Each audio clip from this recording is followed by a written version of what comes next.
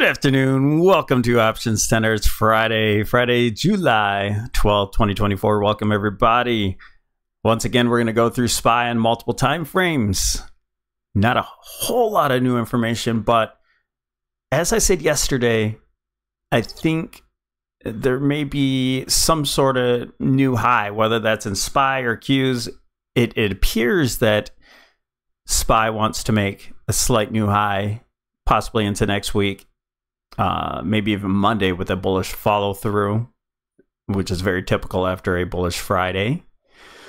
And then maybe a lower high in the Qs. The only problem is what I'm looking out for is that there's unfinished business in the Qs. So I talked about that in yesterday's video. I'm not going to go over that again, but we're just going to roll around the horn and and definitely check out IWM just to see where that's at as well, since that's um, the market leader at this point, and that's what's kind of driving um, the SPY to the upside. And so that's what I was talking about. We need to watch the other indices to see which one wants to continue to lead. And it seems like IWM is continuing to squeeze. And so that's going to lift SPY, and the Qs are a little bit more sluggish. So if that rotation changes and the Qs start to take lead while IWM is maybe it you know might be done with its move, then uh, perhaps that unfinished business could happen in the Qs. Okay, so we're doing this intraday here on Friday about just before 1 p.m. Eastern Standard Time. So if you're a supporter, you'll get this video to 99 cents. You'll get this video intraday. If you uh, if you don't want to do that, that's fine. It comes out. It will be published at 4 p.m. Okay, SPY on the monthly time frame. You see the 2000 top here, top of 21 monthly candle is above that's bullish breaking out from that uh, that trend line.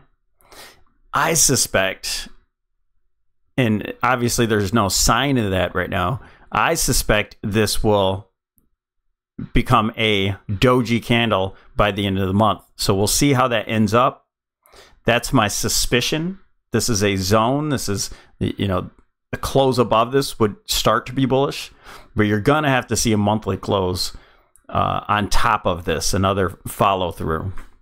But we'll see how this candle ends up. Now, we have bearish divergence on all time frames. So going into resistance, such big resistance with negative divergence is is huge. It's a huge setup.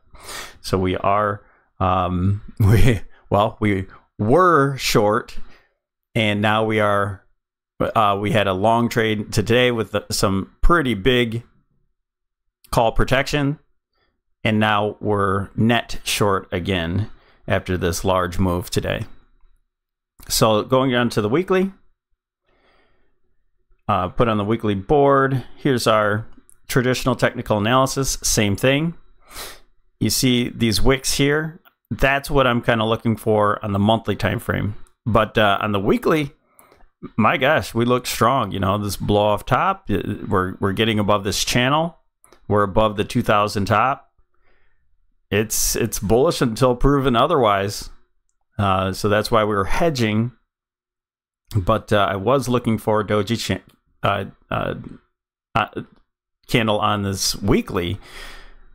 Excuse me, I was looking at something. Um, I was looking for a doji candle on this weekly, and it was happening yesterday but that's completely recovered. So we'll see how the the day ends. Uh, there's a couple different things we could look for, and I'll, I'll show you that in the lower time frame. With uh, those who are new here, this is the clean look that we have. This this move up here. I I thought that uh, price would have rejected first and, and then hit our target, but we're right back, right back at our target I'll take those arrows out.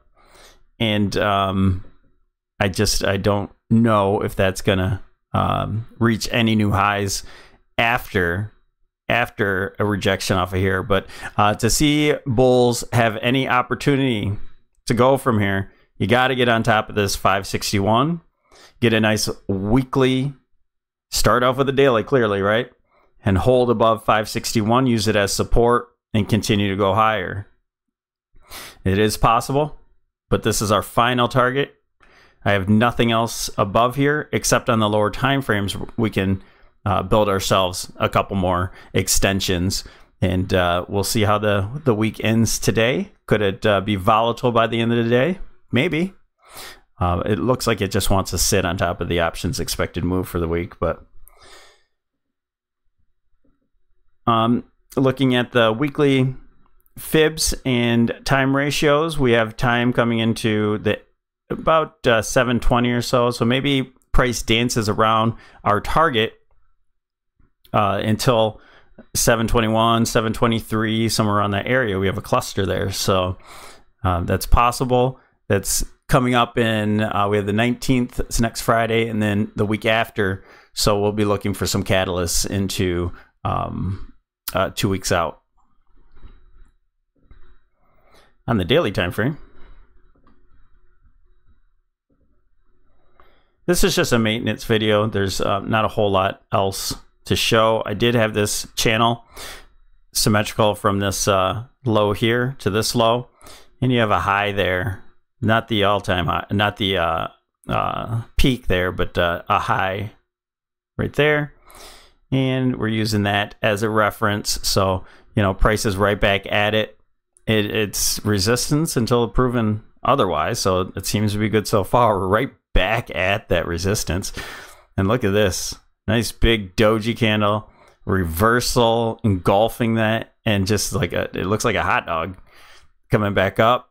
Not quite a new high yet, but right at resistance. Still in a bullish stance. I mean, what this says to me is this is a some sort of um, range consolidation. So we may see the low again. It's possible, and I'll show you um, what that might look like. So our our ending diagonal uh, look here. This uh, I do believe wave five is complete or very near completion. Uh, price can go above 162. It can peak above there and give us a wick on any time frame. So just keep in mind it's price is trying to push it's trying to push it there it's being rejected so far and we'll see maybe it gets pinched between uh, this um, this resistance and then uh, pinch between the 8 EMA, and we'll see what happens after that. Uh, we have a time reference um, on Wednesday, 716. We'll see what happens with there, but really the cluster is at the end, near the end of the month, around uh, 2021 or 721, excuse me. That coincides with the weekly time frame. And then we have a couple more at uh, 724 through 726. Uh, if you're new to this channel, just remember uh, we look for time and price. We hit price already. Now it's just not lining up with our our time frames yet. So I'm really curious to see if if there's some sort of pullback or just sideways move into the time reference, and then we'll see what happens there. So I, there's we're short. You have a, a very clear reference here and and we're going to be short on that until proven otherwise. Um, so we'll give ourselves some room. Going to the 65. 65 minute, I drew another upper trend line here from that top to this one to this one. So it's a valid trend line. Maybe we get one more divergence going into here from the MACD or RSI. We're at a time reference today, but that, that could signal the low that we had. Uh, that was actually yesterday. So we'll see what this time reference does here today. It seems to be just very bullish. Not sure this is uh, signaling, signaling any type of reversal. And then our next uh, time um, relationship, our big one, goes out here to the 723 there. So again, that's going to be a zone. 721 clearly has a uh, a big um, weekly, daily, and 65 minute relationship. And so we don't have another divergence here in the RSI yet, but we could expect one if we uh, eke out a new high here and hit that upper trend line. So, and I think if if it does, I think that's a, a final move there um, you know, but ultimately, ultimately, what I was saying, even though we didn't go down to our targets down here to, to test the wedge, our huge wedge here, the bullish, uh, excuse me, bearish rising wedge, still hasn't broken down. So we have to have some sort of uh, bullish mind frame, but we're getting to resistances. So it just might be a good time to lighten up on your trades. I'm going to be bearish, um, but I'm going to have a bullish bias on any uh, correction. I'll hedge constantly, just like we hedged at the low yesterday. And I said that in the video. Um, have a bullish bias because we're going to at least form a top and and uh, until we break down from this wedge, and then uh, price should start to accelerate a little bit more. So that was our time and price over here.